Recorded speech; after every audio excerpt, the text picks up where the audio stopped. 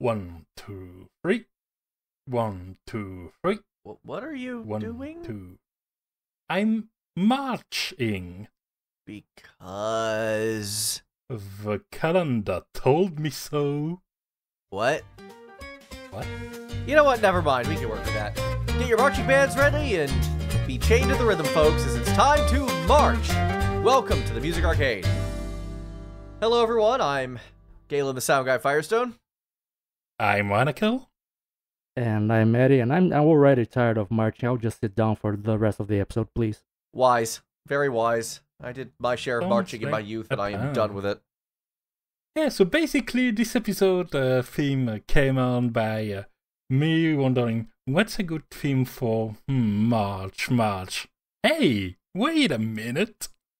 Yeah, I, I was joking on Discord that this is one of those episodes where the intro is just a true story. Kinda, yeah. A little bit. Um, I will say, uh, we should describe what a march is in technical terms. And uh, thankfully, the technical terms for uh, to, to explain a march are fairly easy to understand compared to other music styles. Now, Yeah. before we go that, I just want to make clear that I have read none of the definitions that uh, are going to be mentioned when it came to making my selection. That will come into play later. I have a plot Excellent. twist at the end of the episode that I think uh, will be fun. Oh, yes, you do. So let's just do a quick, a quick dive, I guess, on what a march is. Sure. Uh, Generally speaking, we don't usually yeah we don't usually like deal in music theory here but i swear the elements of music theory uh, that come up here are very easy to understand Yes, it is a march. It is a, a march is a song written in two two time. That's actually very important. Um, that is designed to get people marching. So I should actually point out that Rana was wrong by counting higher than two because you only have two legs, don't you? I mean, there's a jo- dirty joke out there I'm not going to make. I was but thinking yes, it too I as I said that. two Yes, no, I yeah. yeah, yeah, no, that's that's fair. Yeah. Rana why do i have uh, fear and hunger in my mind now Honestly, that's probably the best mental image you could have gotten away out of this. Ah. oh boy Uh, I, I, I will note uh, technically speaking it doesn't have to be 2-2 it's, it's mostly just a matter of it being uh, an even time signature so that you have an equal amount of steps per bar for each of your legs. So it- it could be one, two, one, two, or one, two, three, four, one, two, three, four. Whichever way it goes. Uh, I I've read that there are some modern marches that use a one, two time signature, so it's exactly one step per bar. But uh, that's the only odd number uh, of a time signature that is used in marches. Three, four, that's for waltzes. That is correct. Uh, but uh, uh, I'd say that above that, the most important characteristic uh, of a march is that it must have a strong and easily identifiable rhythm because it's meant for a group of people to follow that rhythm. So they need to be able to identify it. Yep. Yeah. Even if they don't really have a musical ear or musical training, if it goes bum ba ba ba ba bum ba ba ba ba bum, you know when to uh, synchronize with the rest of the people marching with you. Indeed. Yeah, y- y- you you don't want a uh, Pink Floyd song to be your marching theme. Let's just say that. on having so having just seen Dune, uh, Dune Chapter Two not too long ago, I will say it'd be great for sand stepping. Hmm. I will have to watch the movie and get back to you on that. Same. Fair enough. Uh, Yeah, there's um going back to the characteristics of a march. Technically, there's a third one, but it's sort of uh, a guideline more than a rule. Yeah, yes, that, a uh, pirate march. To do. Uh, but it, it basically it basically goes that uh, a, a regular march would have a tempo of 120 BPM, while a funeral march would have a tempo of 60 BPM because the average marching uh, rhythm is uh, one step is a uh, 120 steps per minute, so it's a beat per step. But that's that's a rule that people play like they, they sort of toss it aside very often because it's not like everyone marches at exactly the same rhythm every time. No. And if But anything, but the he- march is designed to coordinate that speed. Exactly. So yes, the whole point is your march should fit your need as opposed to forcing everyone into a box. exactly. Uh, uh, generally speaking, from the marches I've found, it tends to stay around uh 100, 110 to 130, but it can go above and below.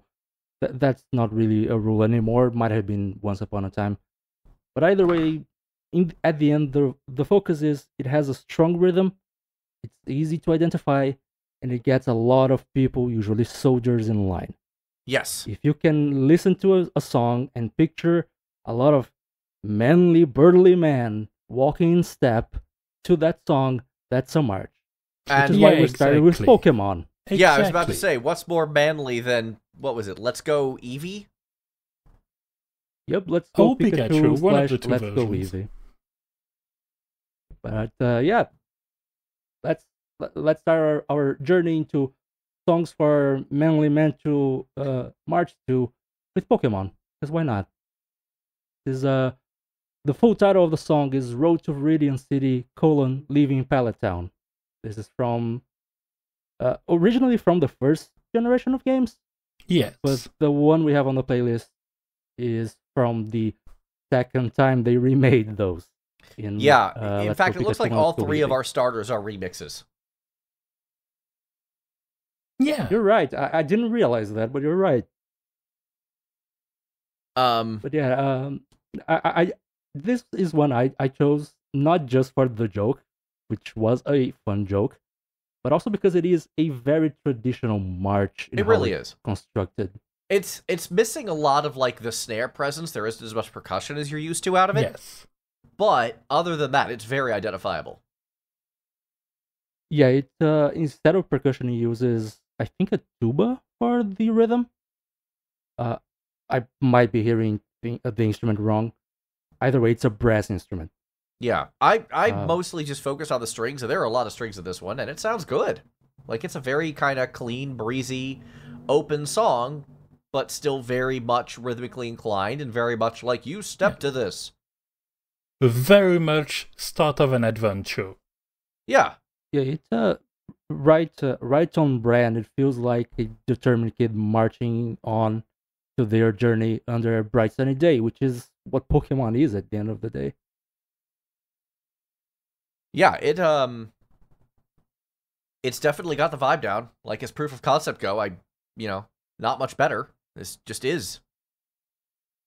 Yeah, and Um, One other thing I tend to like about the remixes of that film is that, given that the original uh, Pokemon uh, uh, red, green, and blue, uh, and in a way yellow versions all were on the Game Boy, obviously the sound for the original was very stripped down, uh, but the versions that came from from it. Uh, and I'm pretty sure that the anime had a version of that song as well.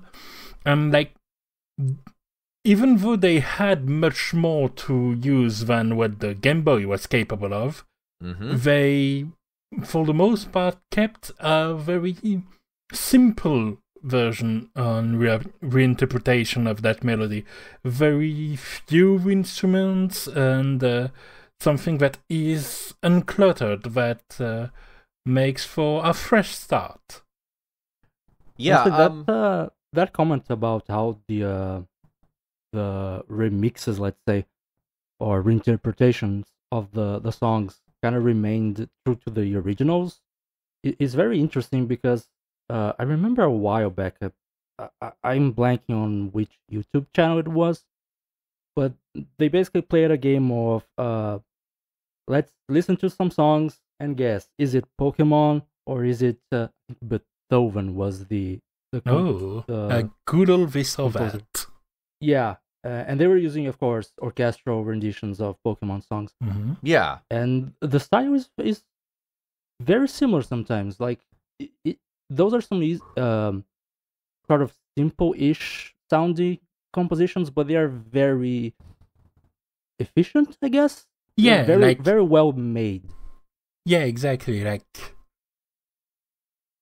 to make a song impressive, the two single best ways to do that is to either add a lot of things that somehow work together, or have exactly as little things as you need. Yeah, there is something to be said for minimalism and uh, conservation of, I guess in this case, conservation of energy. Exactly. Um, believe it or not, despite all the strings of this, this song does kind of skew towards the latter. It's it's almost hard for me to talk about, just given what it does. It does very well and doesn't try to do anything more than. Yeah. It, uh, the, I would say the composers knew what they were going for, and they did it just perfectly. Yeah, Like, there isn't much to say. This is peak song for a kid marching on into their soon to be larger than life journey.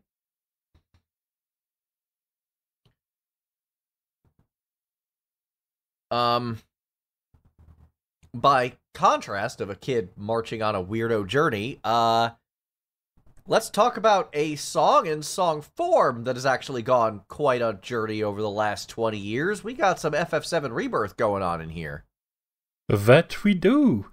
And uh, I haven't played Rebirth yet, but I kind of had to check out that in part because when I think of marches, and in particular military marches in video game, uh, Rufus's welcoming ceremony in uh, Junon is uh, one of the first that comes to mind. I, I almost went for that one myself, yeah. Yeah, not only because uh, the theme itself is pretty textbook, hmm but also because it's a sequence in the game that uh, makes the whole marching thing a part of the gameplay as well. Yeah, So, like, you start with just the music ramping up in the background as you're in the lower part of the city, and when you get in the thick of things, it just becomes important in another way, which is very cute. And so I checked out, uh, for the purposes of researching this episode, the uh, version, because as we established in an episode a fair while ago, uh, the music for the uh, FF7 remake series are good enough, were good enough that it made me identify things about its game w- without having played the game. yes. Um, And so, uh, yeah, I think that uh, the talent at work there still very much applies. oh, yeah. it's it's a version with vocals is the main uh, difference, and uh, it would have been easy to make it a bit too much, I think, but uh, I uh, I feel like it's just in the background enough that the rhythm of the, of the march remains the center stage, which is uh, uh, important not only to uh, keep it as a march rather than uh, an army performance, which are two close but not quite exactly the same thing, Right. and because there is, uh, from what it looks like in the one bit of tutorial that appears in uh, the uh, preview that corresponds to uh, that music I have in playlist, uh, there's a rhythm game in it, so the rhythm needs to be clear for gameplay reason as well. Yeah, um, I So- actually uh, remember back in the original FF7, this game, this mini game was a nightmare. I don't think I, I think I got it right maybe twice or three times in my life. It was extremely confusing. It was. I, I think what little I've seen of the tutorial is a positive. As to the song itself, I've got to say, there, turning it into a almost Soviet sounding anthem while representing a deeply capitalist corporatocracy is a power play. Yeah, it's like I wouldn't say it goes full Soviet and No. we'll get back to that, of course. We shall. but but uh, it definitely has this very inflamed patriotism vibe Yeah. uh, that feels uh, artificial, which fits the theme perfectly as Oh, far as I'm 100%. concerned. Um, yeah, I, I was gonna say like I, I don't fully get the Soviet aspect, but I do definitely get the anthem vibes. Uh, this like, if not for those la la las that happen on occasion on the vocals, this could pass for national anthem. Uh, those la la las are a big part of what makes this feel very artificial. I feel like it's not quite national anthem like because it's almost too sycophantic for that. Like I haven't looked up if the vocals actually have lyrics or if it's just vocalizations, uh, so I don't know what it says or, or in what language for that matter, but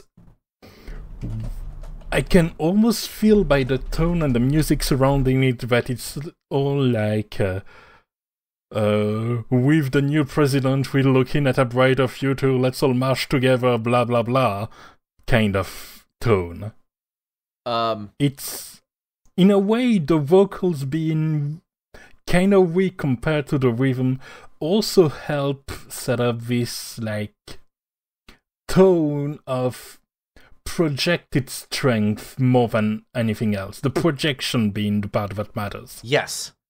Um, I also love in a strictly meta sense. Just this song fully takes advantage of a door that was kicked open by the original FF7 by incorporating these vocals. I find that kind of delicious. oh yeah like it fits very well it Oh, yeah. feels like a natural follow-up It absolutely does. Um, I remember our very first episode uh, complaining that FF7 Remake was named Best Soundtrack of the Year at the Game Awards because it was such a close remix. Um, I still stand by that. This is just 1997 music, but better. yeah But it also just goes to show how timeless that soundtrack is. Exactly. Although, if we're going to talk about timelessness, I see no better example of a timeless game than Chrono Trigger, personally. And not Uh, just because it has actual time travel in it. Yeah, no, that one's definitely an all-time classic, even aside the obvious in-joke of, of time travel. And hey, look, it's a Yeah. JRPG that Eddie's actually played and enjoyed. Check that out. miracles happen. I guess. Um, when I selected this song, it was before the recent passing of Akira Toriyama, so I feel I should kind of bring that Uh, up. Yeah, of course. Uh, briefly, the song in question being uh, Pride and Glory in Guardia Castle, Yes. uh, symphonic uh, uh, orchestra. Now, yeah, like like you said, uh, that has been cleared up. Uh, yeah, this was uh, an accidentally uh, relevant selection and uh, one that uh, serves as a reminder of uh, the incredible impact uh, this uh, uh, this man had on uh, on anime, manga, video games. Uh, Yeah, uh, I think for full transparency, it's worth noting. Uh, he actually passed away about a week uh prior to this recording, but the news came out about like four days ago. yes, yes, So we're it's very fresh in our minds yeah, right now. Uh, I don't want to get into him too much on a personal level. Um, he didn't have much to do with Chrono Trigger other than the art and character designs. Uh, it's not like he wrote the story, and he especially didn't write the music. yeah, exactly.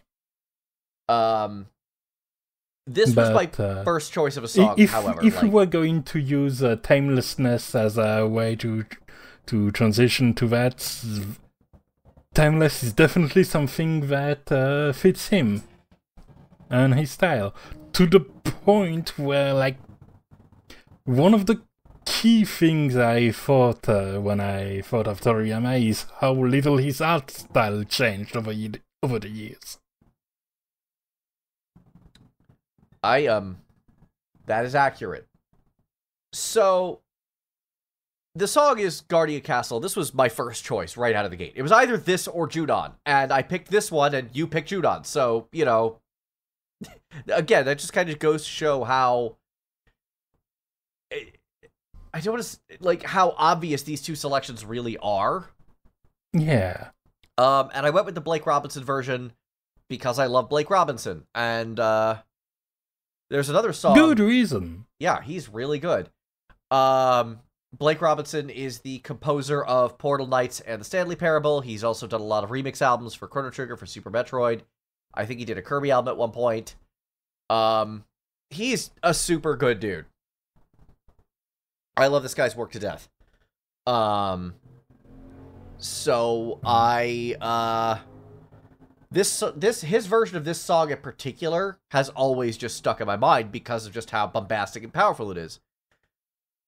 Yeah, like we were talking with the previous song about uh, things that are a bit more toned down to let some elements shine through. This one, given that it doesn't have vocals, it just all energy all the time. Yeah. Yeah, this Which, is, for what is essentially a strictly classical com- uh, composition, is very impressive. Yeah, th- and, and this this song really, re- really proves why it has the title of Pride and Glory, because that's exactly the vibe it gives off. Yeah. Uh, notably, it only plays when Guardia Castle is not in some kind of problem land. Um, N- i- i- incidentally, uh, I actually used a, a manual uh, tempo counter to just compare the different tempos of our songs and see which ones stray the most from from the quote unquote definition of a march that we gave at the top of the episode.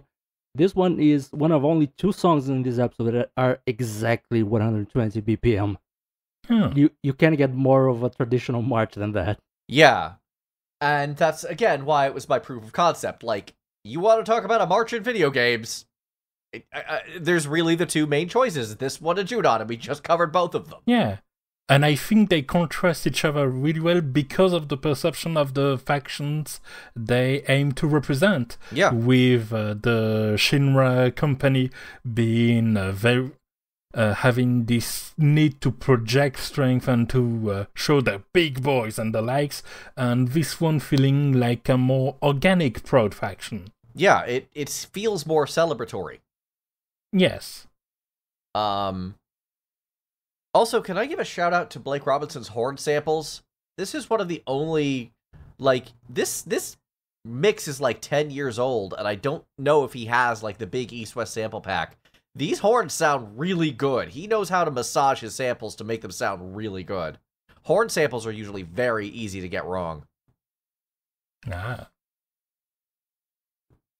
Yeah, he's uh, not only is he uh, an amazing arranger, but his uh his samples are some of the best I've heard for orchestral Yeah. samples. He also has really great vocal it. samples that he uses a little bit on this song, more so on his other tracks. But uh it's just another thing that he's very good at that aren't really uh examined as uh often as they should be, I think. Um And hey, since you have the expertise to do that sort of thing, yeah. it's always great to bring it forward. absolutely make use of it. Uh, you know, if you're good at something, don't hide it behind don't hide it from the world. Exactly.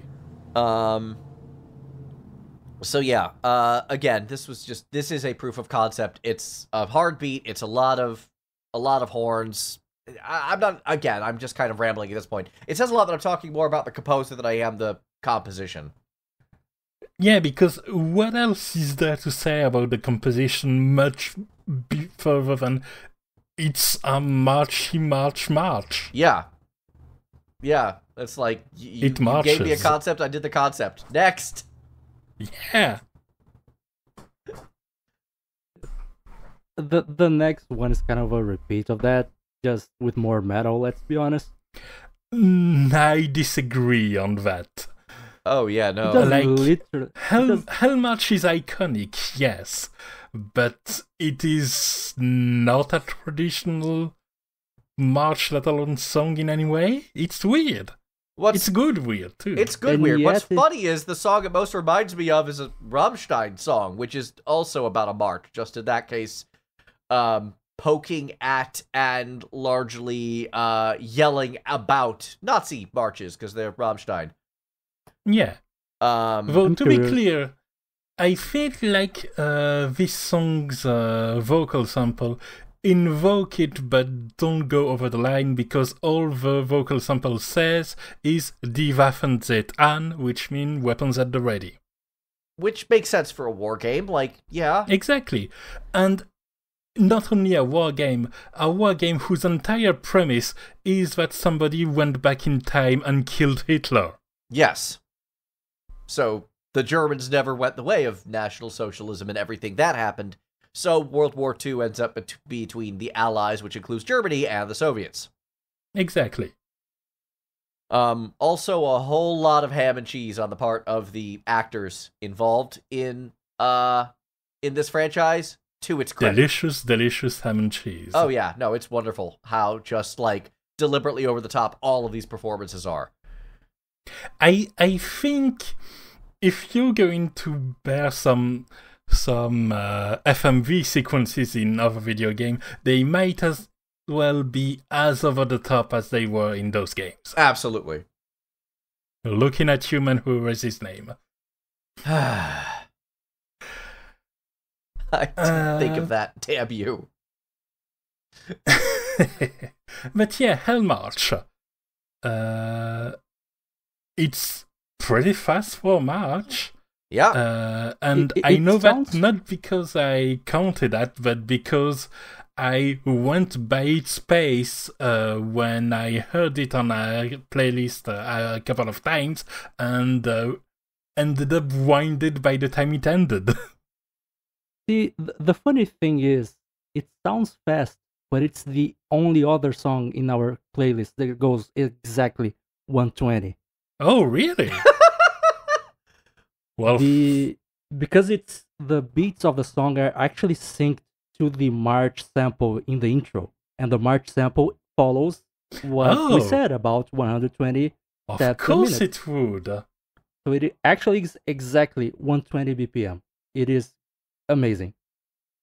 okay. But yeah, Um, this Guess I'm just easily easily winded then. Uh, alternately, and this is something that's going to come up later. Um, you may have Mhm. been counting on the eighth notes instead of the quarters, or or the halves, depending on how this is notated. yeah, you Hmm. may might have been doing 240. That would be the end I result. doubt yes. it. I severely doubt it. Uh, no, back to the music. Uh, so it's got, of course, uh, for uh, uh, Frank song, especially at this time, some amazing guitar Oh yeah. that goes hard and heavy. I- I specifically noted down that the marching calls and the guitar live rent free in my brain ever since I first listened to this. Yeah, and like the march may be the pace, but the guitar is the star, Mm-hmm. which gives you kind of an outside look at this march. You're not you're not the foot soldier. You're seeing it from above, which is fitting given that this is an RTS game. Maybe I'm reading a little bit too much into it, but that seems cool, so Hey, might as well put it out there. Your media analysis are part of the reason we're here, so Yeah. Fair enough. Uh, and uh, yeah, it goes really hard for like three minutes of uh, uh, guitar sickness with that march, and then it transitioned to uh, a more techno beat. Which is on brand for Klepacki, and the very Yeah. sci-fi energy that the song and the game have. Yeah, exactly. It's just that it feels like a song of two halves, you know? One which entered in legend and the other which helps wind it down a little bit.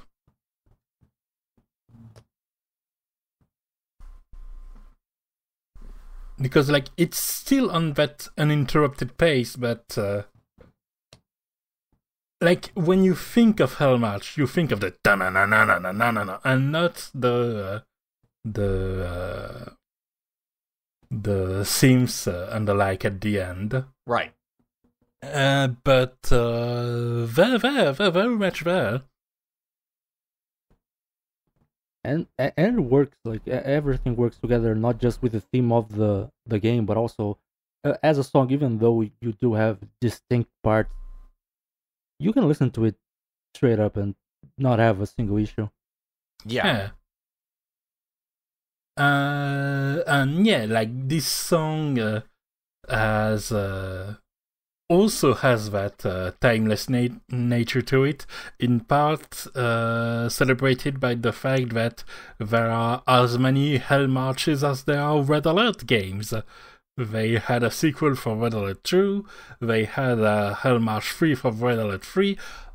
But the song I want to talk about next what it is from Red Alert 3 is not Hell March 3, which felt very close to Hell March 2 for that matter. Uh, but I feel like Soviet March broke some more interesting ground to me by not trying to do another Hell March Yeah. And instead leaning into uh, very much the the imagery and the kind of pop culture aspect of uh, the imagery it represents. Like this uh, these uh, soviet inspired tunes uh, feel big and uh, they are kind of they have very a ton of energy going forward Yeah. and they seem to revel in the excess they carry to the point that uh, this really conveys the idea that this isn't uh, this faction isn't the USSR that realistically could have uh, been at uh, this time or a few years in the future the USSR that we knew of. This is the USSR of all the action and spy movies expanded and given its own form. Yeah. This is pop culture USSR, and it works great for that. It absolutely does. I mean, again, it's hard to bring up um it's it's hard to bring up Red Alert 3 without just how up like how just iconic Tim Curry's performance was. Absolutely. And he did that in part by being super campy and over the top in a perfect way. Yeah. Um and that worked really well. Yeah. I have a ton of love for this game. understandably. Um I'm not- a- Good at it, but I love it. that that's a mood oh yeah, for sure. We- we'll talk a, a bit more about the mood of liking a game being awful at it during now playing uh, i assure you Hey, I didn't say awful.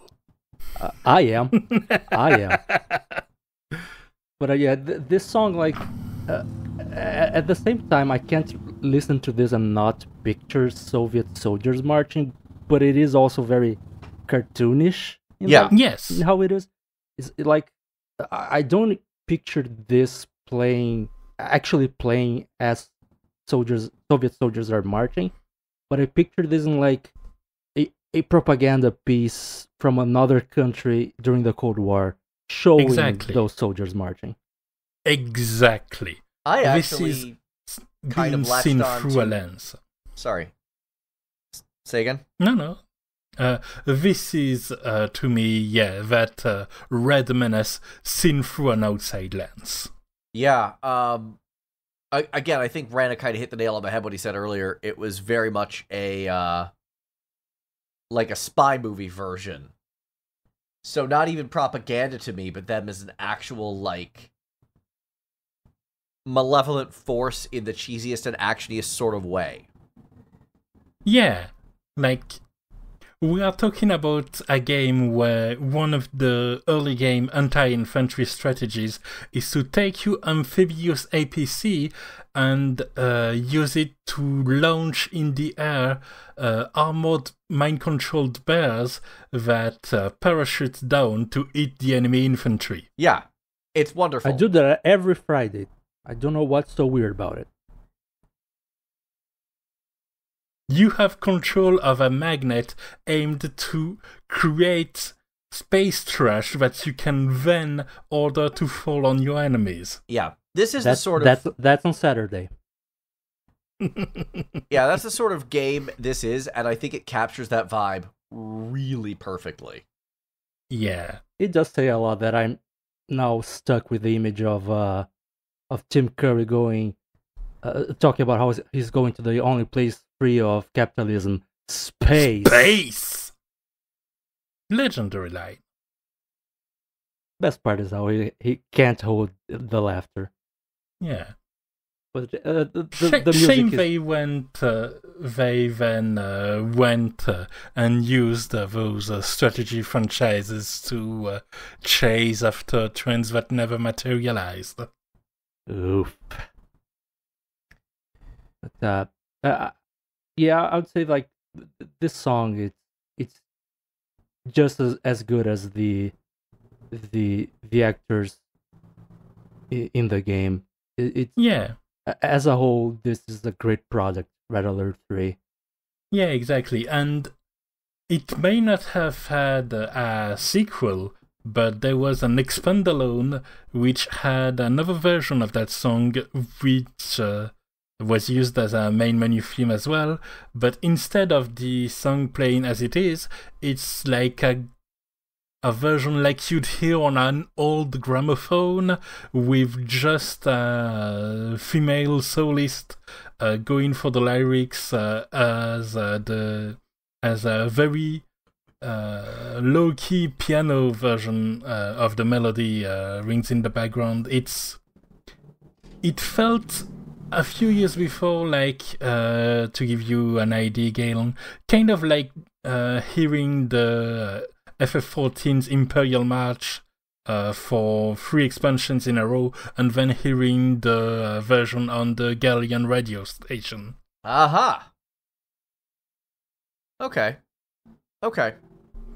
That is So a cool effect if done right, so I'm all about it. Yeah, exactly.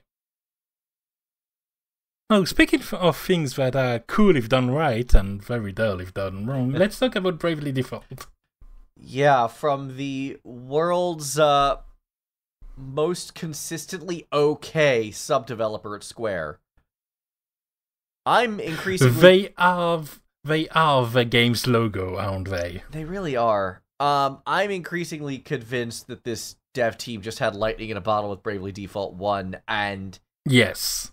Nothing that's come since from this team has been awful, but none of it has been really good either. And obviously, my problems with my problems with uh, Octopath Traveler's story uh, are so infamous now that uh, I got hired in a voice acting role because the script referenced that exact rant. Um, as for Bravely Default, one thing I don't think anyone could say is bad is the soundtrack. Correct. Uh, and this song, the uh, the Duke uh, under the Duke's flag, uh, where the story starts to turn on its head and you realize that things aren't as clean as they could be, um, are the uh is the anthem of the principal bad guys in extreme quotation marks, but they are also bad guys, but they're not, but they are, but they're not, but they are, but timelines. Um, Timelines. It's it's a good song. Yeah. It has a very different vibe from the other ones because it's like it's trying to be a bad guy song, but written in the language of a good gay military march or something. Yeah, I mean it's it's Maybe basically it's a matter of key, maybe it's a matter of it's something else, I don't know. you could honestly describe it as a corruption of my first track, Power and Glory, um, because it does sound like well-meaning but also your enemy. Yeah. Um, I picked this one again, mostly as a very direct example of what you could expect from this genre. Um, so this one, uh, I don't really have all that much to say about it because it hits almost all the same hallmarks as Power, or er, not Power and Glory. Power and Glory right, and Dynasty Glory. Warriors. Thank you, Pride and Glory. Um, it hits almost the same hallmarks. It's the same like hard beat, the classical instrumentation, the heavy use of horns. Yeah, I I might have been the one who listened to this with zero context because I've never touched a Bravely Default game. Um, but the, the vibe I got, I won't say it was necessarily evil March, but there is a more chaotic energy to it. Like the other songs we've talked thus far are clearly you are marching, uh, either alone in the case of Pokemon or as part of an army in the case of the other songs. This feels it feels more like trying to march when you already are in the middle of a battlefield. Interesting.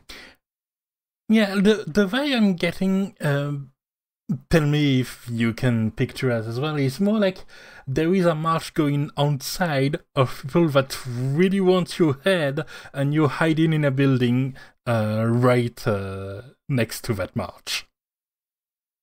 Like this doesn't feel like a song that's for you, but that's but one that's for somebody that really wants your head on a platter. Yeah, I I like the way I- you put that. I, I, I suppose I can see that. It's not quite my interpretation, but I I, I can definitely see that. Of see course. that. I mean, Uh, Excellent. honestly, having Uh, varied interpretations is great. It's something that we should be striving Yes. towards. yeah. Indeed. That will come up later. Yeah, honestly, uh, the, a, a couple things jump to me on this song uh, that make it sound not quite traditional march like to me. Uh, one of them is the kind of subtle use of bells throughout the entire song. Mm-hmm. Uh, they add some very interesting texture in the background. And the other thing is the main image that came to my mind as far as like gameplay is concerned, as someone who hasn't played Bravely Default, is actually Final Fantasy Tactics.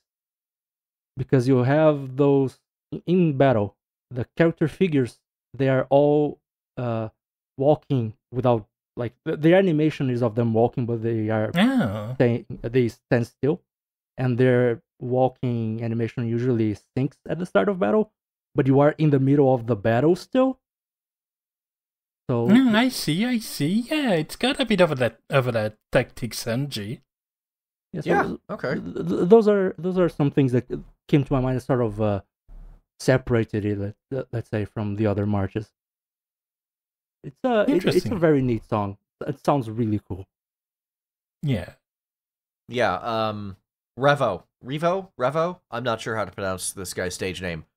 Really cool composer. Did some great work on this one. Great work on Bravely Default 2. Someone else did Bravely Second, which is not Bravely Default 2. I've not heard the Bravely Second soundtrack, so I can't really comment on it to any great degree. Who cares about consistent sequel titles, right? Honestly, for this game, uh, they kinda get a pass, but not anymore. But they did. They used to. Look, the, this series invokes feelings. That's a good way to put It it. sounds like it. I still need to play Bravely Second at some point. Like, even if I end up putting it down and not enjoying it, I need to at least try it. I- I will note I'm not sure I want to have those feelings that you guys have, but it sure sounds like there are some strong feelings. That that's uh th- th- that's not something I can dispute. Yeah. or maybe some not strong enough feelings at times. At least that's how I felt for Bravely Second. Still on my 3DS, but haven't finished it. Now then, for something that's uh, a little bit of a darker, more sinister mood, uh, Eddie, take us down to the depth of Norfair. Norfair from Super Metroid, specifically the Ridley's Lair theme for Norfair. Yeah, Lower Norfair. Um, As usual, Th- shout th- out to Blake Robinson's remix of this song as well. which is excellent. Oh yeah. Yeah, it, it's a shame Nintendo Nintendo'd him.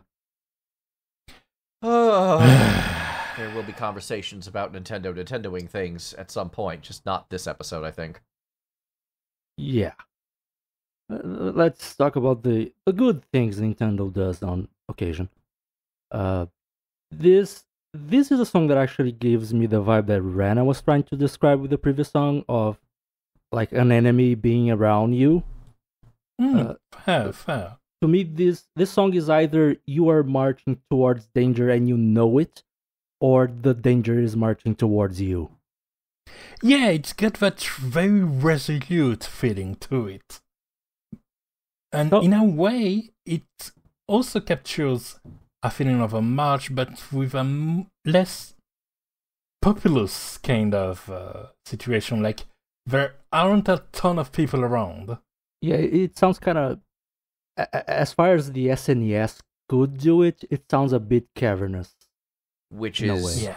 great, um, given the nature of the game.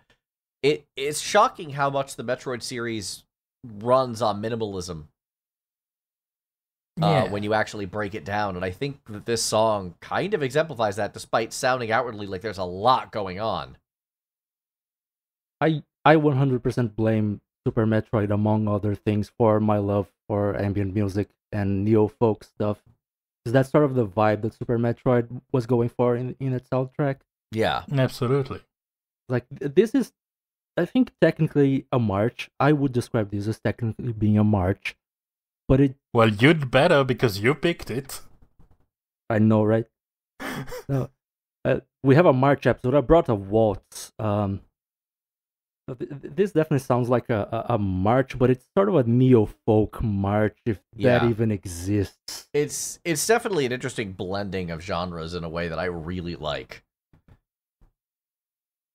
And it's Yeah, and it's very tense and it sounds very strong, which is very fitting for the boss that you are about to face, hmm especially if you're playing a ROM hack.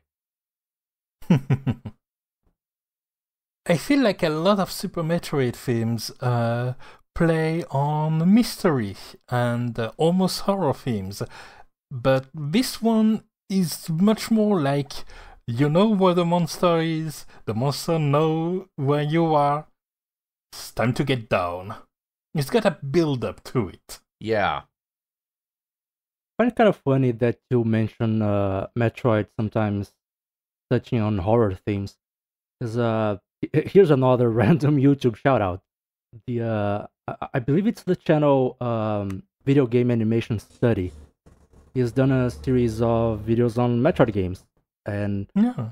pretty much he talks about how uh, different types of horror are there for pretty much every game up to uh, every 2D game at least up to Metroid Fusion, where he mentioned uh, uh, he has videos explaining how how they create a sense of dread and and fear Haha, in the player, which uh funny how that turned out.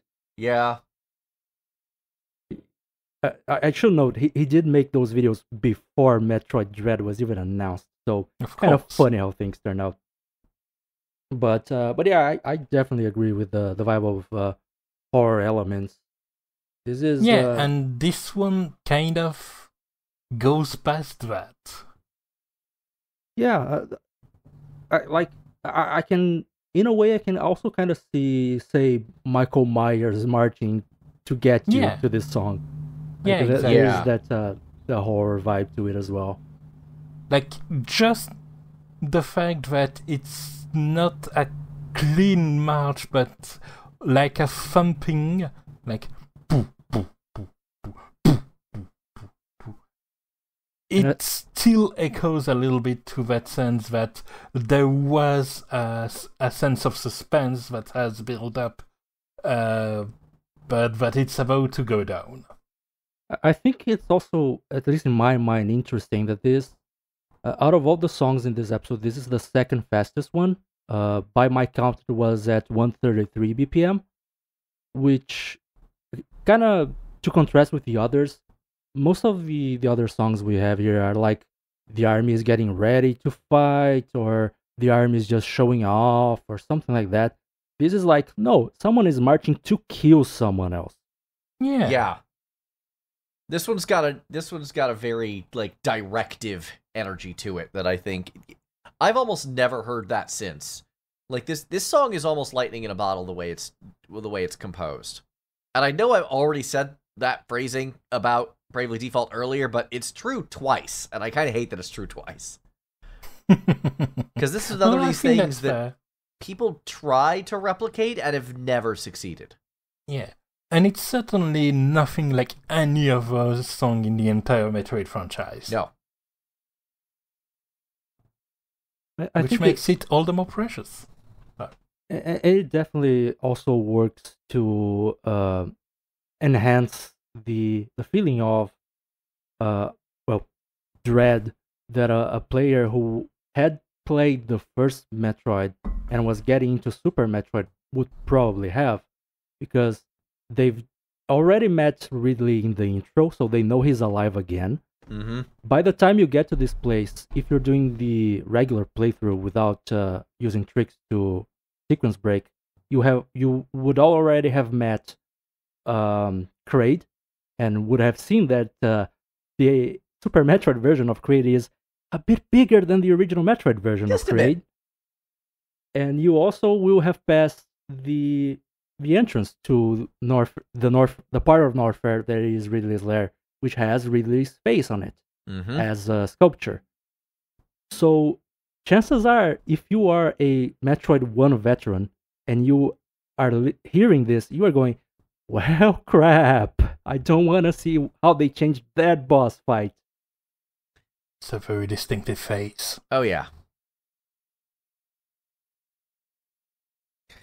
You know, before we move on, Yeah, I I- just want to comment that a lot of our picks harken back to our intro episode for some inexplicable reason.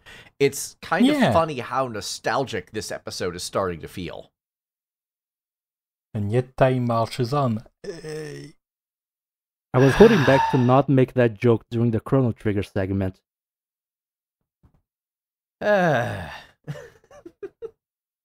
well, let's march to a beat of a different drummer. How about some Heroes of the Might and Magic 3?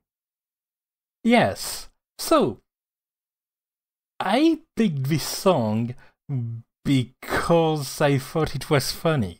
I was about to say, Because- this doesn't sound very March esque. I, I listened to it a couple times and I'm like, trying to figure out what the point of this one was. Well, that's because it's a Marsh song. Oh God! Marsh instead of Boo! Yeah, uh, for those for those listening, uh, that's Marsh with an S. Yeah. he's, saying. Um, Yeah. Yes, that was the reason, in fact. You know, the, the- Um, the, funny thing is that my first note on this song is that the way I, I can see this as a march is if it's mimicking slow and deliberate steps in uh, rough terrain. Which it does, for the record. Like, I looked into it purely because of the pun. I kept it because after the little, uh, the little introduction, it goes militaristic. Yeah. Not much like, but definitely militaristic. Like this is the uh, all of the sub-faction of weird little swamp freaks that comprise the fortress town uh, that uh, are going to uh, uh, strike and ambush and break down the armies that are invading on their ground and uh, kind of becoming this unseen slow rumbling of a force that rises from beneath the, the surface, the murky, murky surface of that marsh, but uh, that uh, build up to something powerful, which is uh, interesting for this one. Uh, not just because it's an early game faction or a fortress faction, but also because of, again, the kind of sneakier tactics that uh, some of those uh, units that uh, comprise this faction are specialized in. There's a lot of flyers and there's a lot of status effects. There's the the, the bulls whose name I can't quite remember that can paralyze enemies and the likes. It's very status effect oriented, very dirty fighting, you know. And it's funny you say that because my second note on this song was that it sounds more sneaky than March like. Yeah, Exactly. yeah. Uh, my primary notes. I'm just gonna go ahead and read what I said here. Not that By I want to means. complain because this doesn't sound like a march. Uh, but it is a very, very, very cinematic song. Is one thing I got from it. Like this definitely feels like it could be a moving s- a movie score over a montage. Yeah. Yeah, I- Especially given that it starts in a place and ends in a very different place, so there's definitely this kind of feel that could correspond to specific events of a scene, even though it's in-game uh, tone theme that loops. Right. Yeah, like uh, uh, to the point of it being cinematic, like I easily can imagine one of those um, anime scenes where they kind of play the sneaky bits for laughs a little bit. So the guy sneaking through the base, almost getting caught, and you're supposed to chuckle at that. But then suddenly he actually gets into the fortress at the end, and then there's all those strings in the song. Yeah, because the start there's uh, some instruments that are associated with that kind of goofy, sneaky situation, like the wood. I'm not sure if it's an oboe or clarinet or something like that, but uh, there's these kind of tones that can be a bit uh, goofy, but it's a setup for a payoff, and that payoff is all that powerful swell that comes after that. But isn't nearly orderly enough to count as a march. No, But it counts as a marsh. it, it possibly does count as a marsh. I did not examine that song under that context, and maybe I Yeah, maybe I and- should. And if it's another type of wetland like a fen, I apologize in advance. With that covered, let's move on to some Yakuza Zero. before Galen begins talking about his pick, I'll just I, I'll, I'll just repeat my first note for this song. How is this a march? Well, allow me to explain. Mostly by talking Please about do. what we alluded to at the beginning what a march is. And actually, before I want to do that, I want to actually say that Ranikel completely unintentionally inspired this talking point Excellent. from a completely. I love when I do things on accident. It's very low effort. It is. Um. Anyway, so I will explain as we go on what that talking point is. But first, let's talk about what a march is. It is a piece in 2 2 time meant to march to. I know that Eddie said it can be in 4 4, but that's more perception than anything else because everyone kind of thinks of music in 4 4 terms. But yeah. from a strict music theory standpoint, from a fundamentalist music theory standpoint, a march must be in 2 2. Which is what this point is about fundamentalism. Uh-huh. Now, one of the songs I brought up that is not in a video game to my knowledge, though some of the composers have done some game work in the past, is The Divine Conspiracy by Epica. I'll just sigh a little bit in the corner. Go for it. I was not doing that for your like March of Mephisto was almost my choice, but then I stopped myself going, this is too close to the mark, but I need to talk about this. No, I Um, get you. But the joke was there. it was. Uh this particular song is written in 4/4. 4/4 is four quarter notes to one measure. But what happens if you combine those two quarter notes together into a single note? Well, that becomes a half note. You have two half notes to a measure. That's still 4 4 time. But that's also 2 2 time, isn't it? that would be correct if my remains from uh, when I took uh, music uh, classes uh, still correct, yes? Right. So the point of that is 2 2 is notationally no different than 4 4. They are the same. Of course, Yeah. you will be told by music theory people that they are not the same, but that is a bold faced lie. That is just wrong. That is incorrect. 2 2 and 4 4 are identical. They are just, it's just math. At least that would be uh, incorrect or correct depending on how traditionally you view that thing. Exactly. Ren is starting to You're get to welcome. my point. So take the guitar riff from the Divine Conspiracy.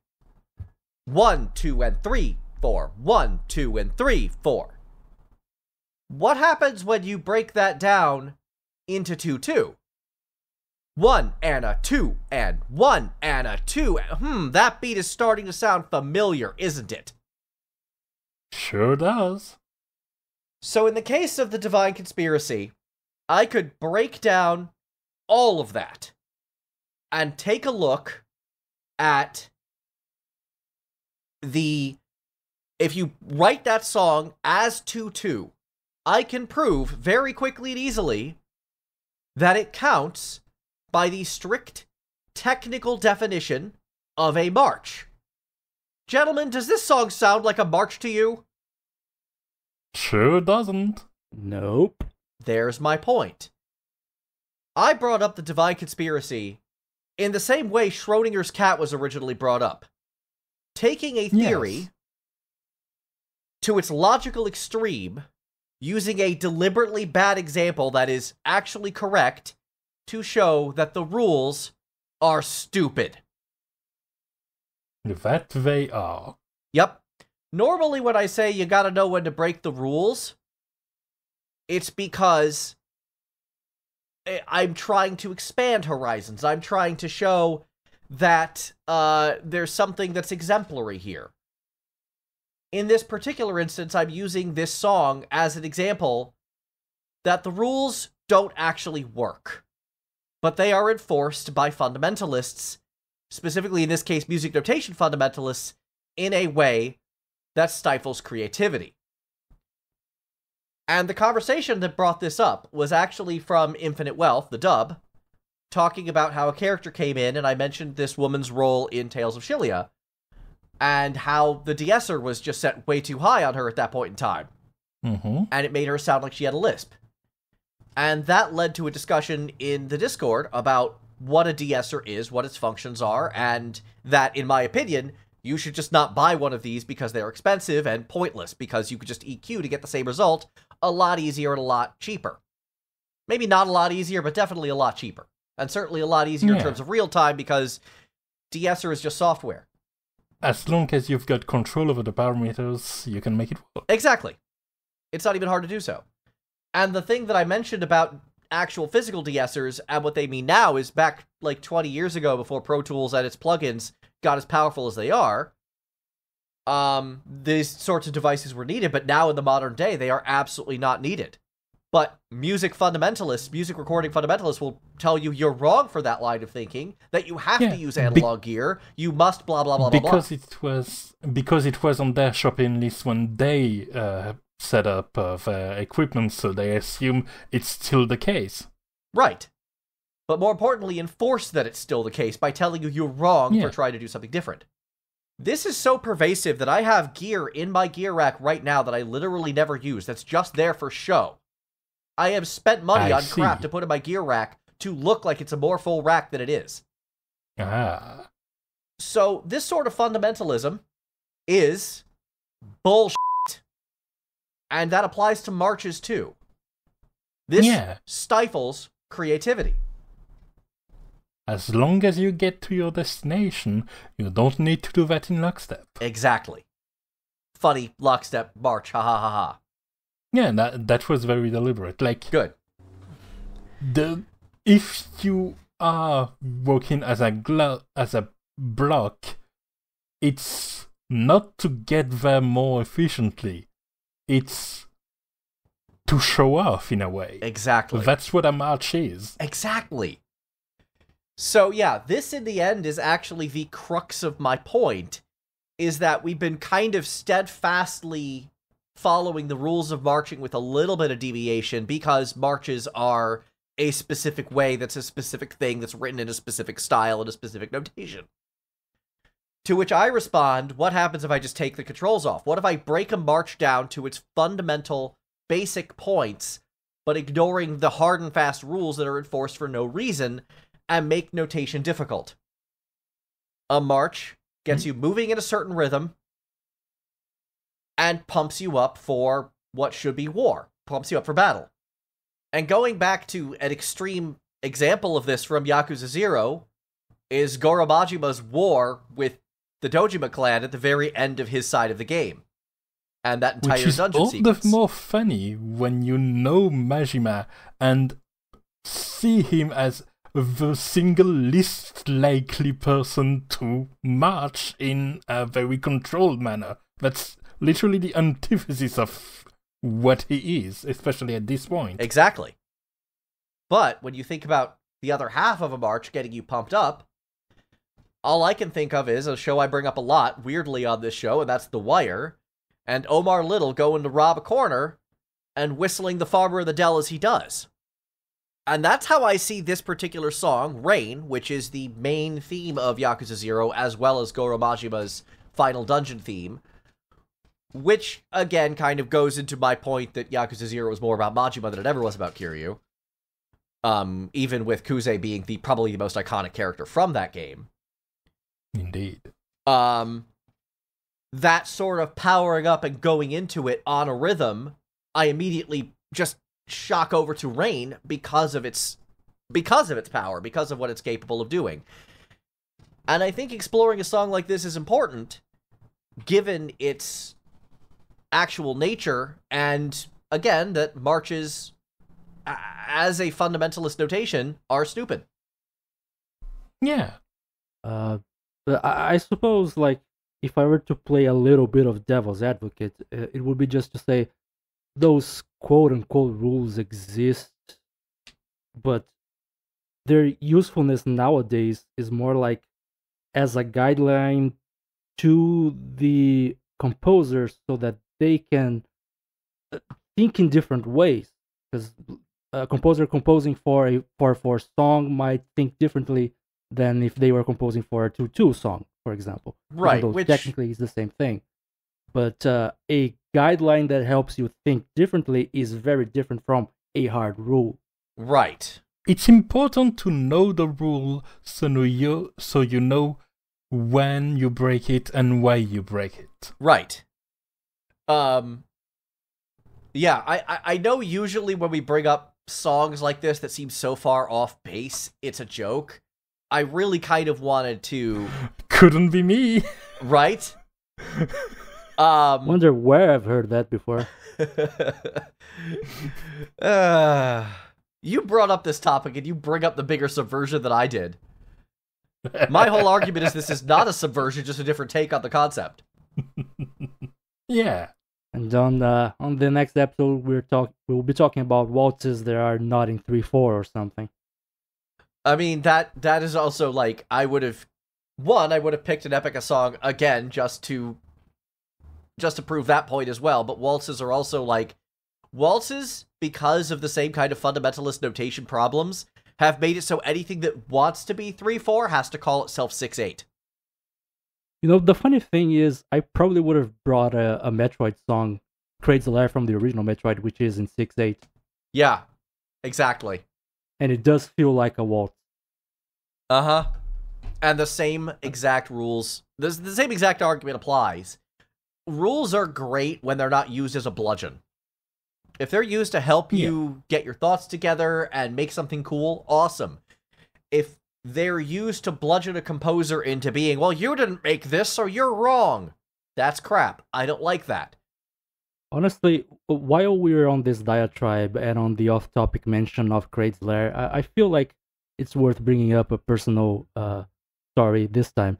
Usually it's Galen's story time, but now it's it's Eddie's story time. Go for it. Uh, Take us away. So uh, I I have taken piano lessons, but only for three years for financial reasons, way Right. before the uh, Mhm. the pandemic. Um, but one of the things I wanted was like I I didn't care about performing in public. I I am autistic. I don't like being in front of everyone. I didn't care about being in a band, same reason. I just wanted to know how to play some cool songs. And of course, most of the songs that came to my mind were either songs from the Fullmetal Alchemist anime because I grew up with it, or video game songs. Right. And one day I brought uh, Kraid's Lair from the first Metroid as a song that I wanted to learn. Yeah. And my teacher was uh, classically uh, trained as a pianist. She has like a, a lot of diplomas and whatnot. She, she Right. has some pedigree. And she was surprised that the song was 6 8, but sounded remarkably like a waltz. It sounded like 3 4. Because waltzes for fundamentalists are always 3 4. And Mhm. she loved it. Because, like, she's classically trained, but she loves when people do things differently in music. She's not a stickler for the rules. Oh, you had the cool teacher. I remember when I brought my Final Fantasy VI book to my piano teacher, she called it not real music. Oh, I- I brought like songs from the two different Fullmetal Alchemist anime uh, shows, the original and FMA Brotherhood, and she was like, "Oh my god, I love how these two completely separate series, but from the same franchise, happen to have amazing songs together. They all sound so incredible." I like your teacher. She's really cool. She still teaches. I just don't take lessons anymore. Nowadays, it's mostly because of time and health reasons. yeah. Yeah. but uh yeah she's really cool but th- that goes to show like she spent basically her entire life uh teaching classical piano and being taught classical piano and then this nerd shows up with game music and she's like oh my god they do things so differently i had no idea Yeah, and again, that's kind of part of the problem with classical training is that it, it instills these hard and fast rules into someone's mind. Your your teacher had a very open mind, which is great. I wish more people did. Yeah. Like you have those rules that you learn, and uh, you get certified for being great at knowing those rules. Great. Now, what do you do with those? Do you follow them to the letter and regurgitate them, or do you consider them for what they are and their concept, and uh, accept to build up on that? Yeah, I as a as a final point on this topic, I, I always like to remember the the usual joke from literature where uh, people are the teachers are, are taught in at university to uh, teach to their students uh, how to interpret uh, works of art, works of literature in one specific way. But sometimes the curtain is just blue. There's nothing more to it Uh huh. Indeed. those rules are aren't always applicable. Right. So yeah, that was my that was my little TED talk about this. Um, as for Rain, the song itself, I mean, it's just a great song. It's just a great like techno rock song. Nothing wrong with it. It's got a great energy. I'll just I'll just quote one of my notes. It must be one hell of an experience to beat up mooks to this song. It's great. It is. It's great. Yakuza Zero has a great soundtrack, and that one's weirdly enough for a soundtrack I already called great. It's actually its star has kind of risen for me as I play through the Year of the Dragon. I I really kind of go back to Zero a lot, not just the one song. Um, and this one this one also really grew on me. Um, Yeah. So yeah, It just feels like it's it's a it's a payoff. it is. It really is. Like you've been through uh, all of those games and scheming and manipulations and cross mm, and uh, all treachery and all that, and but you and you can outsmart most of the people involved, but you can't outsmart a kick in the face. Mm-hmm. Um. So yeah. Um.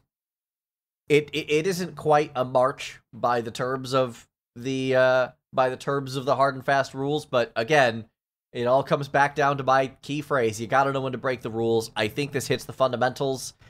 Um, I think it can be interpreted that way, and uh, again, it just it's just a great song. It just sounds good, and yeah, as Eddie said, it's a lot of fun beating up mooks to it. So. Great fun. Also, that chorus is just fun. That chorus is great. I actually really like the use of vocals clean and processed across this song. Oh yeah. It's mixed really well. Like just from a strictly technical level, I, I like how it sounds. And uh may as well just go ahead and dive in now. Let's talk about the other stuff we're playing that aren't necessarily marches, except one that probably is. Music Arcade now playing.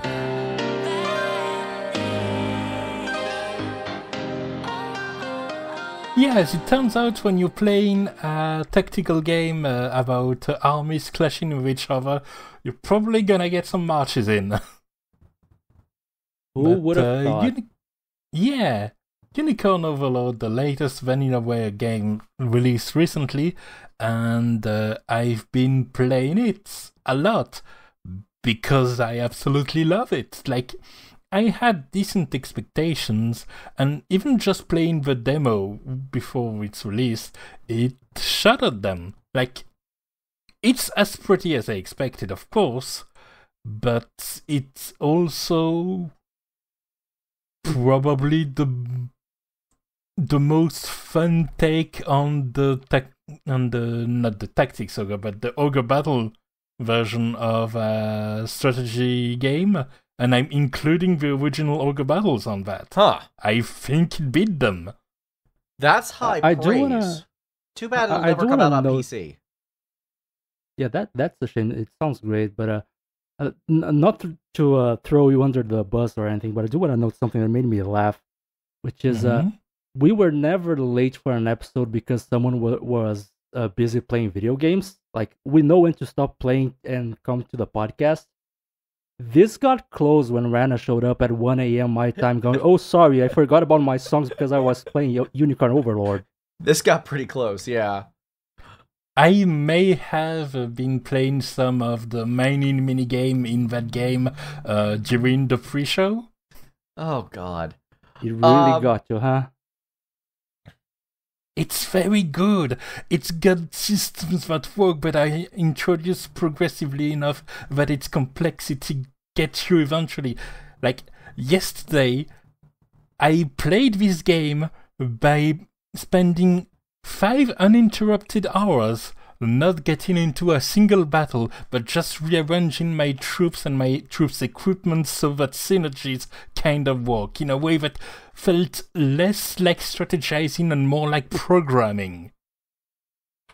I would That's just lament wild. that it's probably never coming to to uh, Windows PCs because it sounds fun. No. Uh the the development team Vanillaware question mark? Yeah, like to, uh, I'll summarize it uh, in a way that feels pretty all-encompassing. This game feels like a late PS2 games in many ways. It runs as good as a PS2 game should run on more modern hardware. That is to say, it runs at a good frame rate at any time, even on Switch. It has a charm to it in the color scheme, in the art style that uh, uh, has been present and in a very similar way ever since Odin Sphere. It has a scenario that's extremely basic like that, and uh, it has the sensibilities of not making a PC port for a game that's otherwise multi-platform. Um so I'm just going to go ahead and say this. This last week, uh Nintendo basically bludgeoned an emulator out of existence um under severe legal threat. I Uh believe it was called Yuzu. The Correct. Switch emulator. um I am exceedingly opposed to this sort of litigiousness. I find it to be anti-archival, something that Nintendo has flat out said they are against archiving. Like they've outright said they're not okay. And I'm like, And they are unambi- unambiguously in the wrong. correct. So what I think I might end up doing is finding a mirror of Yuzu because it's on the internet somewhere. I can find that. Oh, no, of course. The tapes are circulating. Uh huh. Gonna find that. I'm going to buy Unicorn Overlord on like PlayStation or something. Never play it there, and just run the Switch emulator out of sheer spite to Nintendo. Honestly, fair. Because I'm I'm not okay with what just happened, and all sorts of other emulators and similar products um, falling off the wayside. Yeah, talking about companies stuck in the past. Yeah. Nintendo is emerging as one of the bigger villains in gaming, and they've been heading in this direction fairly steadily for the last 10 years or so. They've been coasting for on uh, the goodwill of the internally developed franchise for too long. Far too long. Yeah, I, it, I think it, it kind of uh, th- their journey, their uh, villain origin story, kind of Yeah. started when they came off as being completely against uh, fan games and mods, Uh huh. which already was an awful take. But you could go, okay, it could maybe damage your properties, your IPs, all right. But Yes. then they came up against uh, be, as being against speedruns, as being against playing differently from how they want, Again- yes. Uh, emulators, and like They're against, they were for a long time against Smash tournaments in general because they didn't want Smash to be seen as a competitive game. They're that petty. Yes. Now then, uh, they are terrible, and I would love to uh, delve deeper into that. Yeah. But I love Unicorn Overlord enough that I want to cut that conversation off because I'd rather sing the praises of that game. By all It means, is please that do. good. I would love to learn how it plays. I would love to enjoy the game. I'm just going to do everything I can not to give Nintendo money to do it. Please continue. Yeah, by all means. And uh, so yeah, as far as the music goes, this one it feels very, very tactics game, as it should be. It's uh, uh, it ends up being a bit old uh, eventually, but that may have been because I cleared as many nodes of uh, encounters as I could in the in the first region. The game map is divided in five main regions, and each has uh, its uh, own set of themes uh, for uh, day and night, overworld travel, normal battles, etc., etc Right. And uh, I've just now started getting on my second region with uh, a welcoming committee that had me uh, fend off. Uh, uh, I calculated that I had to destroy uh, a group of enemies every 2.7 seconds on average. Wow. Expert mode is not messing around. Sounds that way. I was Yeah. gonna say, sounds serious.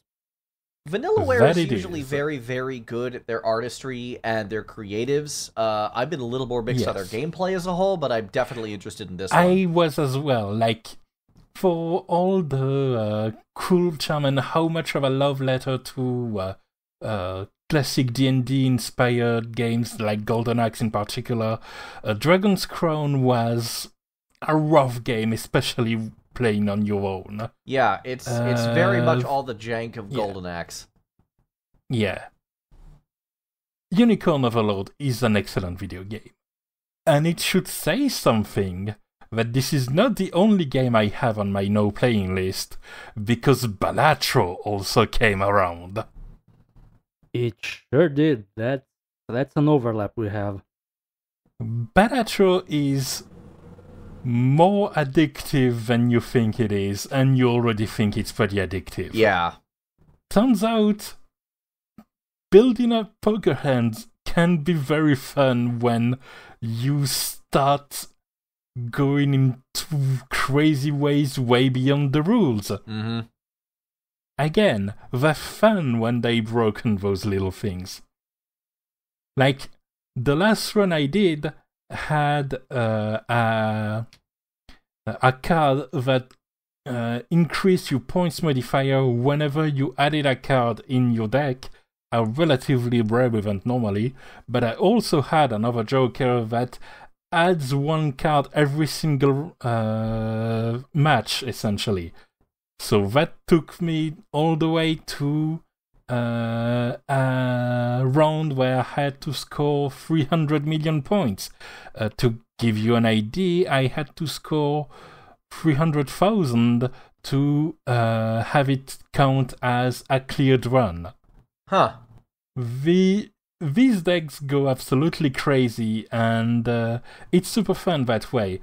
And the uh, atmosphere, both visual and uh, with uh, the soundscapes and the music, it's funny because a lot of games that use uh, traditional playing cards and traditional casino game imagery want uh, oftentimes to uh, take the role of the fancy casino that's all about luxury and the the big Vegas palace and all that. Balatro feels more in line with the countryside gambling hall where there's uh, very old video poker machines, most of them with nobody uh, in there except maybe uh, one that's in use with somebody that's never been seen outside of this seat and somebody that's probably passed out drunk or something. It's got that sleazy, partly the affected way around it where anything goes, and I love it for that too. Honestly, Yeah, that, um, that's a that's a funny description. Uh, my description of it would be like between the spectral cards and the tarot cards. It's like a wizard came to a, a town in the countryside and he's drunk and he's just insisting, "Play, no, no, no, you're gonna play. You're gonna love this game, dude. Play just one more round, guy." Yeah, and he's making up the rules and really hoping you don't realize he has no idea how to actually play poker. I, I, will note that it's transparent how different our experiences in this game in this game have been, because uh, I, I also played a lot. Like I have uh, about thirteen hours of playtime in this on on Balatro. Uh, Mhm. And to give an idea, I'll just I'll just say what happened in my latest run. I got the uh, red and black deck.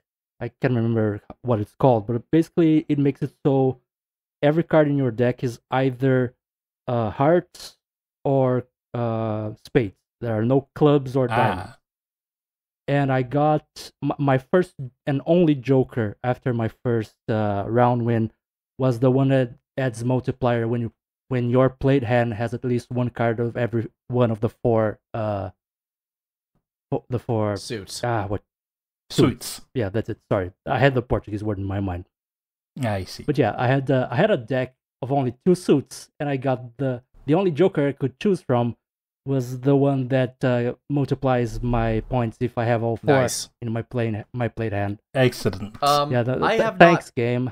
Thanks, game. I have not played the game yet. I have watched a couple videos on it. it. Looks very cool. Um, but I did listen to the song that Rana picked. yeah. Very rarely do I find a song that angers and repulses me in a way that I have this much trouble articulating. I just hate this song, and I don't know why. Huh. It's funny that Fascinating. funny that you say it's the song that Rana picked because I'm pretty sure it's the one song in the game. It just ch- changes yeah, like tempo the, and uh, there's, and gets like there's not a lot of songs, but uh, it has uh, the. It's a very long song, and it's. It never. You're never really sure where you are in the song. It's very disorienting in this way. I, again, kind of playing off the fact that the imagery that uh, this is uh, uh, 9 a.m., a place where no gambling hall should ever be open, and yet here you are playing another hand. Yeah the the song changes tempo and pitch a lot uh, Mhm. depending on what you're doing. So that makes it feel a bit more varied than it really is. But I believe We've it's just mentioned breaking the rule. That song has none. pretty much. Yeah. Yeah, I don't know. I I this one just makes my skin crawl. I wish I I wish I could articulate why. Hmm. I, I don't quite get that reaction, but it's not really a pleasant song for me in particular. Uh, I play Balatro with YouTube on, on the background, to be honest. Honestly, I think that, and I'm not saying that specifically for you, but it's kind of fitting that it gets to you in a way you can't even articulate because that song feels like a headache. This is the perfect ga- kind of game to put whatever music you want, anyway. Yeah. It's just that this one uh, that comes with the game has this feeling of getting way too deep in your own head and suddenly what even is life anymore. Yeah. It definitely gets that right. Well, on that, Eddie, what have you been playing? Well, speaking of things that get in your in your head, uh, I've been playing Baldur's Gate 3, where you have to deal with uh, a mind flayer parasite in your head. Yay! Yeah. Uh, I- I'm happy to report that I appear to be at least partially free from my sickness of I just want to create more characters. I am actually progressing the story now.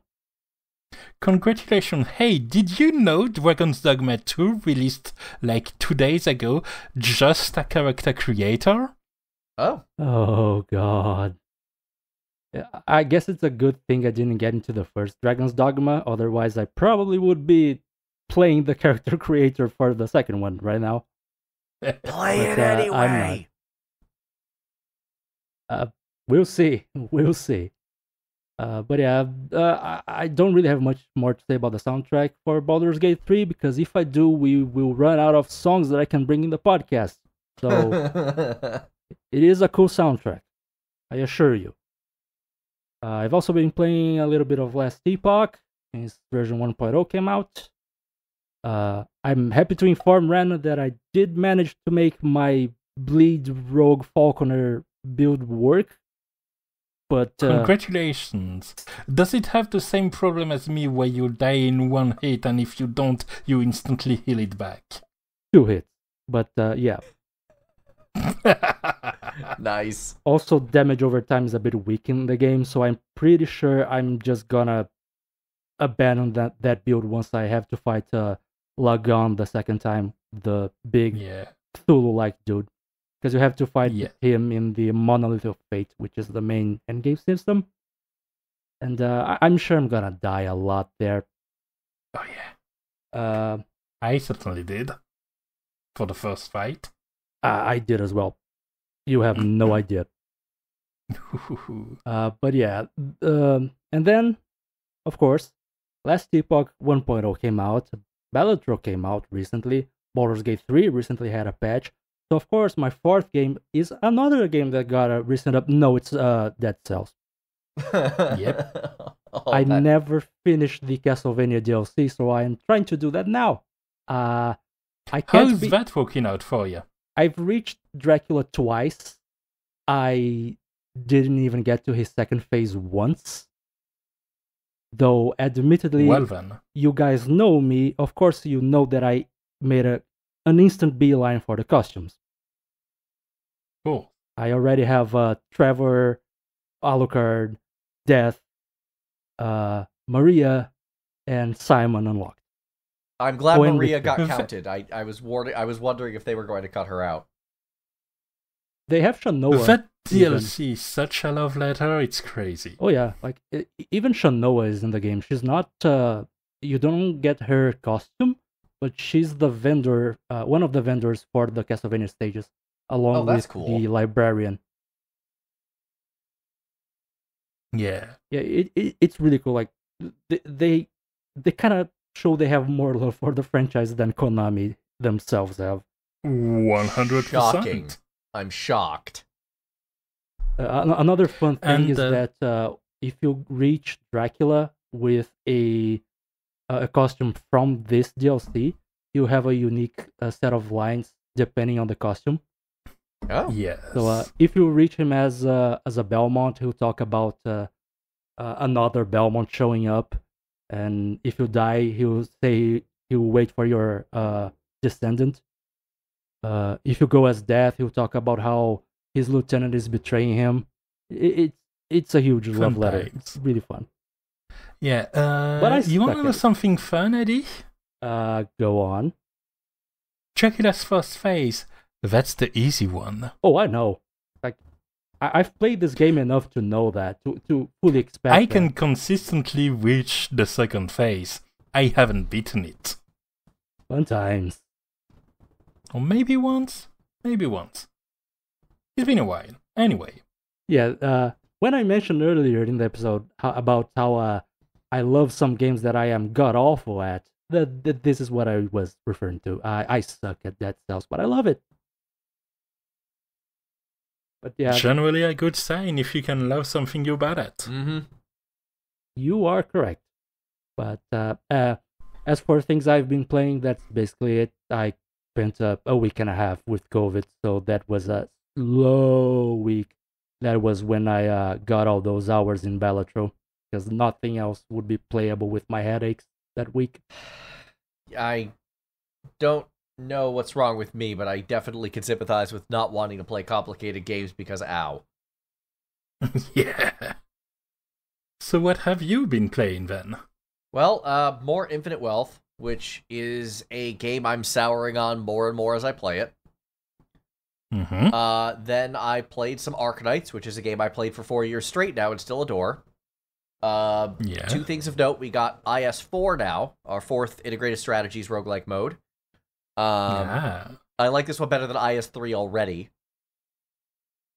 Uh, and music on it's pretty cool. It's about the uh, Scandinavian equivalent in that universe. And then we had a rerun of Dorothy's V- Vision. Thus names like sorry. Thus names like Joklumarkar. Yeah. Um, that's how you pronounce that, I guess. I don't know. I'm I'm not uh, Scandinavian. That's fair. Uh, you are a lot closer to there than I am. That's for sure, though. True. Um, True. but yeah. Um, so yeah, dealing dealing with the frozen tundra is a lot better than dealing with the seaboard and the dice RNG, which is easily the worst part of IS3. They cut that out, thankfully.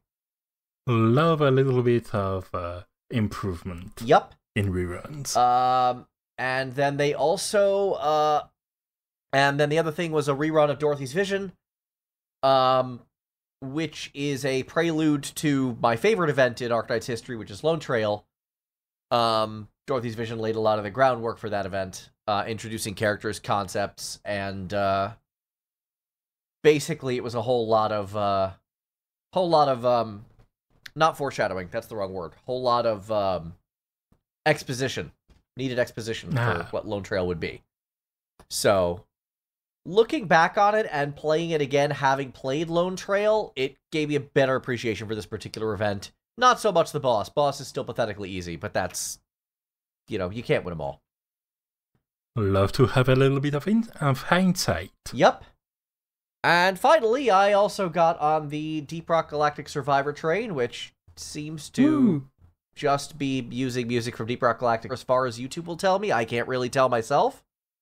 And same for me. I haven't played Deep Rock Galactic, only Survival. Right. So, um, the game's fun. It's not my favorite Survivor like, Yeah. but it's a fun distraction. It's a different take on the genre, and I appreciate that. Yeah. Yeah, me too. That it focuses a lot more on you chasing the goodies rather than uh, staying around in place. Yeah. Curious to see where they take it because it it's it's got interesting bases uh, and uh, content uh, would be nice then. Yeah. I would I would definitely love to hear more from DRG Survivor. A little more a little more bang for my buck. Yeah. And that is and it if they can add uh, a couple of fun space woven songs, even better. And with that, that is all the time we have for this episode. Thank you guys so much for tuning in. Sorry I was a little out of it today. I'm a bit sick. As always, you can find a playlist of songs we talked about and our contact in the description below. Please reach out to us. We'd love to hear from you. And uh, with that, I guess it's time to march on off to another episode. Have a good one, y'all. See you next time for a very normal episode. See you. Foreshadowing.